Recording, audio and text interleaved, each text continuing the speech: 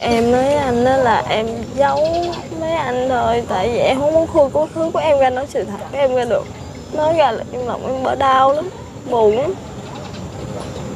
Như con em Em không muốn là cho nó Như có cha có mẹ đầy đủ.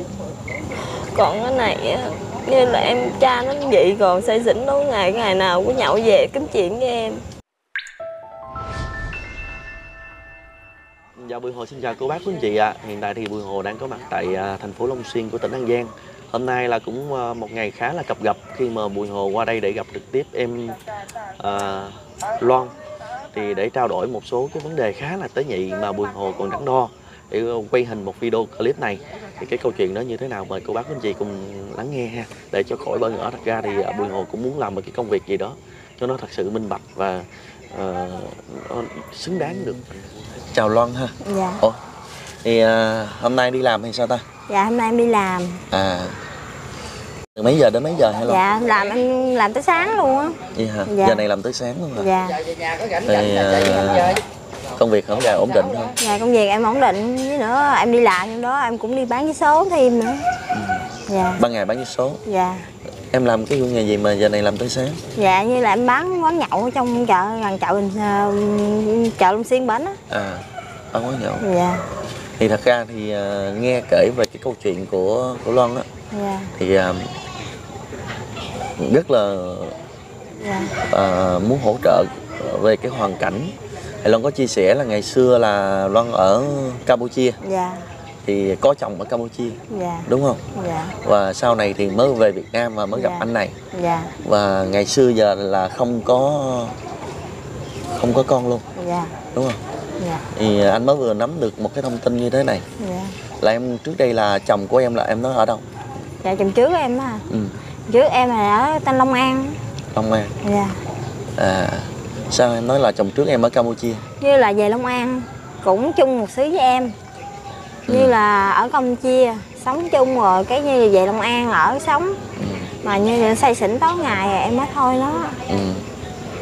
Ở không có con dạ chồng trước em ở Long An dạ sao lúc trước em clip trước em chia sẻ với anh là có chồng em nói mà em nói chồng trước em ở như là Campuchia Ừ. chung với em mà về Long An ừ. em có chia sẻ em sinh anh. sống là hai vợ chồng sinh sống ở Campuchia hay ở Long An dạ ở cái- sinh sống ở Campuchia sinh hai vợ chồng sinh sống ở Campuchia dạ bao lâu thì mới về lại à, dạ cũng lâu lắm rồi mới về. Lâu lắm mới về lại Dạ, à, Việt sống ở Nam. Campuchia bao nhiêu năm mới về Việt Nam? Dạ em sống Campuchia là lúc mà em mới có 16 tuổi là em được ảnh. Rồi xong em mới về là 18 tuổi là mới về à, Campuchia, à, Việt Nam. Long An em ở huyện nào? Ngay là Mộc Quá. Ở huyện Mộc Quá. Dạ. Em huyện Mộc Quá luôn. Ừ. chính xác chưa? Dạ em có biết rằng là khi mà chia em chia sẻ đoạn video clip này rất là nhiều cô chú anh chị xem được Dạ. Và anh nắm được một cái thông tin như thế này. Dạ. Em có chồng ở Long An. Dạ. Và em cùng chồng với mình có hai người con. Em Có chưa- không? Dạ không. Dạ không, em chưa. Em nói thiệt đó em chưa và người ta viết rất gành về em. Dạ em chưa có. đã đã nói với anh nè.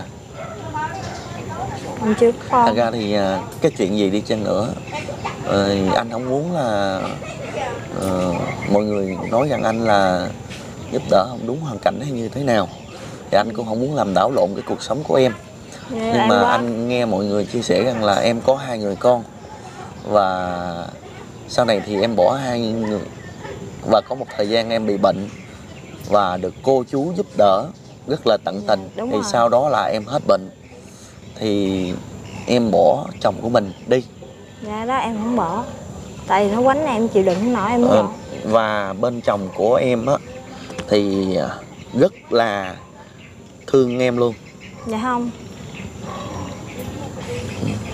Rồi em cứ chia sẻ đi Như là bên chồng em á là đối xử với em tệ bạc lắm Em á sống không nổi.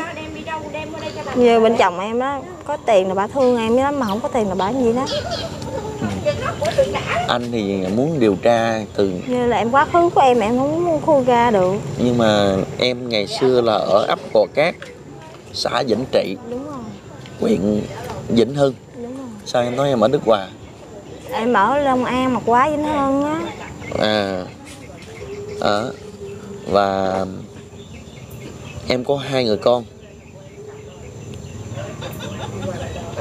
Và chồng của em là không có đánh em gãy xương giống như là đã Có. từng nói. Có. Cái người đó giấu em á để Ừ. em biết. Đi quánh em. Có quánh em ổng có quánh nhưng mà không ảnh nó không có quánh em đâu bỏ đi gì như ảnh say xỉn có quánh em. Nếu mà ảnh không quánh em đâu có đi gì tại em chịu đựng hết nổi em mới chịu em em mới đi á. Sao em bỏ con của mình em đi? Như là em nói anh là em như là em không muốn khui quá khứ của em ra được. Không muốn khui quá khứ ra tại sao em nói mình không có con? Như là không phải là em giấu cái gì hết á. Tại vì á bên em đòi bắt lúc mà trong khi em đi đòi bắt hai đứa nó nặng mà bên kia người ta không cho bắt. Bên kia người ta không có cho bắt. Em muốn bắt nó đi lắm mà bên kia nó không cho em bắt. Bên kia nói là mày đi, bì bước ra đi rồi á. Mày làm gì mày nuôi cháu nội tao nổi. Em nói em thà em làm thế làm mướn, giờ em cũng vẫn nuôi nó được. Em có thể kể cái câu chuyện mà lúc quá khứ của em. Tại anh nghe anh rất là hoang mang là em nói là với anh ở clip đầu là em nói không có con. Nhưng mà mọi người nói là em có hai người con sau đó là em thấy bên chồng nghèo quá em bỏ đi. Không phải. Em có thể bên chồng em là có tiền á là mới thương em mà không có tiền á coi em á như gẹ như con cháu dắt vậy nhưng mà lúc lúc mà em bệnh ngặt nghèo nhất thì ờ, thì gia đình bên chồng của em cũng như là mọi người ở đó người ta ủng hộ em rất nhiều mà bà thấy bà có tiền gì đó. Bà có tiền bà thấy bà coi em gì đó. Mà bà không có tiền á bà coi rẻ em lắm. Anh không hiểu cho em đâu. Ờ, anh thì rất muốn hiểu cho em nhưng mà anh muốn qua đoạn clip này để em có thể nói rõ cho anh cái câu chuyện đó. Như là có thứ của em á khi đó em sống nhậu say xỉn về hở quánh đập em kiếm chuyện em như em đi bán đi làm về cũng một tay em không cái hở cái nhậu xỉn là kiếm chuyện em quánh em. Bằng thờ ba em thích chợ thờ không thích nó quăng bỏ. Hỏi anh gì em sống nổi không? Lỗi lôi dòng họ em ra nó chửi. Rồi em cũng chịu đựng cũng không hết nổi em mới bỏ đi. Không phải là con em em muốn bỏ. Tại vì nó tại nó không phải tại em nữa. Em nói là chồng em đánh em là gãy xương sống có đúng rồi có. Hay là do em bị tật? Không từ nhỏ lớn em không có bị tật nguyền gì hết trơn á. Như em sanh đằng sau này ra là nó quánh em luôn á. Quánh từ trên cao em té xuống luôn á. Mẹ mới gãy xương. Chứ không khi là nó cũng không ấy đâu. Em mới hận nó em hận dữ lắm.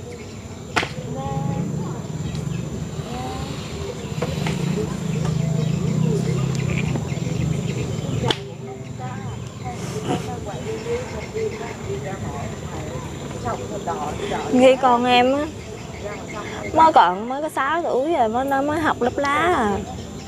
Trong khi nó quánh em, nó chửi em, nó đuổi em, gia đình nó.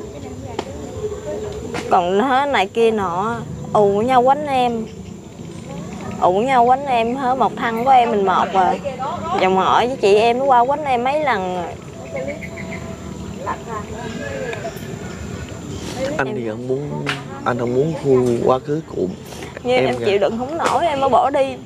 Chứ không là em cũng đâu bỏ con em chi em em mới giấu nè. em vì quá khứ của em em mới giấu thôi. Em không phải là em muốn bỏ con em. Em cũng dẫn em đi làm em lãnh lương em cũng dẫn gửi cho con em cũng dẫn gửi tiền cho nó. Nhưng em có nhiều em cũng bằng gửi về hết á. Mà ngặt gì bên gia đình nó không có cho em gặp con em. Nó không cho em gặp thôi. Em điện về nó cũng không cho em gặp nữa không phải là em muốn muốn bỏ con em gì hết á. Bảo hoàn cảnh nó bên chồng em không có bao giờ hiểu hoàn cảnh em trong lòng em gì hết trơn á. Áp lực cho em không à.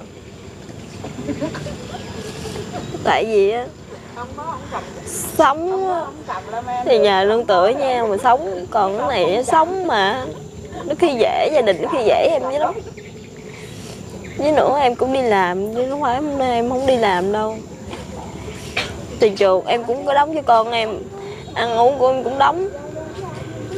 Mà nó có thể nó ăn nhậu say xỉn tối ngày vậy đó.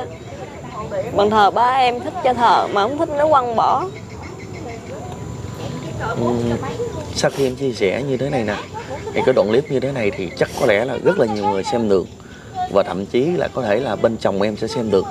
Thì em nói như vậy thì em có em có sợ bên chồng mình biết được không? Em không sợ gì đâu anh. Tại bên chồng em cũng rất là có lỗi với em nhiều nữa. Cũng bà cũng chửi em dữ lắm. Em mới hận mình cả gia đình em hận em mới bỏ đi. Chứ không là con em em cũng không bỏ đi chi em tại vì em chống anh thì á con em không phải mà em giấu gì tại vì quá khứ của em em muốn khui ra thôi. Tại vì ba mẹ em mất sớm thì sống nhau nương tựa nhau mà sống. Còn cái này á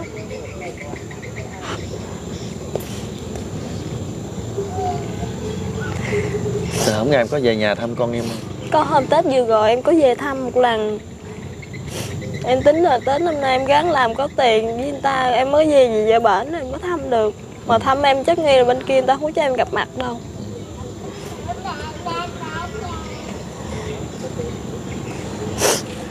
Em có ngại khi mà anh đăng cái đoạn clip này lên không? Dạ không.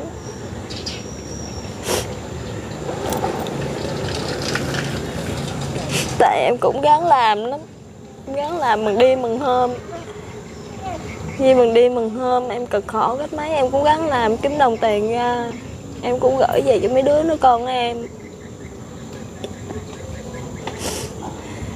Ờ, tại vì khi mà anh đăng cái đoạn clip trước á thì cô chú có bạn kia nói là ờ, em nói sai sự thật. Thì kêu nói anh là xác minh cho đúng. Và có người lại nói là anh đã giúp đỡ lầm người rồi. Thì ờ, anh cũng muốn biết là cái câu chuyện đó như thế nào như em nói anh đó là em giấu mấy anh thôi, tại vì em không muốn khui quá khứ của em ra nói sự thật của em ra được. Nói ra là trong lòng em bỡ đau lắm, buồn lắm. Như con em em không muốn là cho nó như có cha có mẹ đầy đủ. Còn cái này như là em, cha nó vậy còn say xỉn tối ngày ngày nào cũng nhậu về kiếm chuyện với em. Kiếm chuyện chửi em, quánh đập em này kia nọ em sống cũng đâu có nổi đâu. Em mình lên em nói tới cái bên gia đình á thì khi dạy em nói em này kia nọ. Vậy là ở em. trong cái clip trước của em là nói gạt rồi. Anh có nghĩa là em đã có gia đình và sống ở Việt Nam. Yeah. sanh ở Campuchia nhưng mà em sống Việt Nam từ nhỏ đến lớn chứ không qua Campuchia đúng không? Có cơm chim xanh từ nhỏ lớn mà. Nhưng mà giấy giấy cái xanh em còn chảnh mà. Ừ. nhưng mà em là ở Việt Nam sống ở Việt Nam thôi. Dạ. Chứ không có sống ở Campuchia. Dạ. Đúng không? Như em có về chảnh có một lần về chảnh mà giờ cái em mới về Việt Nam nữa.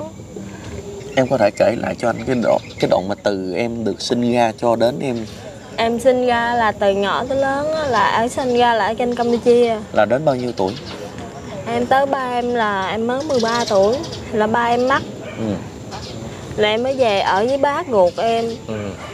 là em về ở bác ruột em là em mới là bác ruột em mới đưa em về cho cô ruột em giờ là bả về ở Việt Nam là về Việt Nam mà anh bả như là bả gả em lúc 16 tuổi Ừ. đó bả gả em 16 tuổi em tưởng như bả như là bả gả em chỗ đàng hoàng tử tế như là có được cuộc sống của em này kia nọ Ừ. như là em không được cuộc sống như là đàng hoàng với người ta. Ừ. như là em được say xỉn. Như bằng đầu nhậu vô say xỉn chửi em quánh đạp em. Em cũng chịu đựng. Ừ. chị đựng không hết nổi em mới thôi nó thì em có hai người con. Dạ. Một người ờ, nhận gái em tên là bé nhi. Ừ. còn thằng trai em tên bé hữu người trai người gái. Dạ. Con gái bao nhiêu tuổi à gái em là năm nay nó là 11 tuổi rồi. Ừ. thằng trai em năm nay là 9 tuổi rồi. Ừ. thì sau đó là con em mấy tuổi em mới bỏ đi? Con nhỏ gái em là nó 10 tuổi. Còn thằng trai em mới không lấp lá em mới bỏ vậy là em mới bỏ đi năm vừa rồi thôi. Dạ. Thì em mới gặp cái anh anh chồng này. Dạ. Gặp nó ảnh là anh chồng này là năm 2020 à vậy là chỉ mới bỏ đi thôi. Dạ. Thì gặp anh chồng này là anh đánh đập chị. Dạ. Rồi em có bao giờ nghĩ là mình sẽ về mình lại nuôi con mình không? Em suy nghĩ nếu mà em về em sống muốn sống lại với nó thì em nghĩ chắc em sống không được đâu anh. Thành thà là em tới lui thành thà em gửi tiền cho con em thành thà là về thăm nó em còn thôi có mặt em thăm được còn như em về sống em không về được. Em không có về sống nổi à, sao anh thì là một người chỉ mới biết em qua lần gặp ở video clip trước? Dạ. Ờ, anh nghe kể cái hoàn cảnh của em thì thấy rất là tội. Thì nhưng mà anh nghe một cái phản hồi không hay. Đó thì một cái phản hồi khá là tiêu cực. Thì anh muốn xác minh về cái cuộc sống thật sự của em để mà anh không bị bên tiếng gọi là giúp đỡ không đúng người. Em có thể ờ, qua cái đoạn clip này như thế em có thể ờ, nói cho cô bác của anh chị rõ ràng là cái cuộc sống của em như như thế là đúng sự thật đúng không? Dạ đúng rồi. Chứ em không có nói dốc anh giống lúc trước em không có nói gạt anh đâu để cái này là nói nói sự thật. Em có con em thiệt. Tại quá khứ của em em không mấy em không dám nói gì thôi tại vì em muốn sống, ra em muốn đi làm, ra em có tiền, em mới về gửi cho con em nổi. Nhưng cha nó say xỉn tối ngày, cũng chưa chắc thì lo cho nó được. Em đợt hôm tết em về á, mấy bà chị em như mấy bà chị vòng dòng của dòng họ, như là quen biết đó nói là nó say xỉn tối ngày nó con mày đi học, nó không có đưa tiền cho con mày đi ăn. Nó không có như là, không có lo cho con mày gì hết rồi cái em mới về em mới về em mua đồ cho nó. Rồi em cho tiền cho nó. Nó chạy em ra em gắt lên nó mừng em lắm. Ngặt gì á em không muốn đi bỏ một lần nữa. Em muốn dẫn nó theo. Công chuyện em chưa có ổn định em không muốn dẫn nó được. Như là em á thì em như là em đã lâu em có gì như là em làm kỳ nào em có tiền, em mới làm về, em mới đưa về ở về cho con em. Chỉ là em điện qua thấy điện thoại, thấy mặt con em điện thoại thôi mà em cũng khóc rồi. Bên gia đình nó bắt con em đi bán vé số nữa. Như nhỏ bán không biết bên từ nhỏ bây giờ nó đóng tiền đi bán số đâu, bán mất tiền về cũng bị chửi nhỏ nữa. Thôi thì à, cũng gần đến giờ em đi làm rồi. Dạ em nói em nghỉ. Tại em đi làm ba gần cái tuần nay em làm đêm nào em cũng tăng ca cho em cũng đuối em nói em nghỉ. Tại vì em tính đi đi ra ngoài mãi em lấy tiền của mấy đứa bạn em đó những mượn em đó thì anh sẽ chia sẻ video clip này lên ha. Dạ. Để cho cô chú anh chị để hiểu thêm.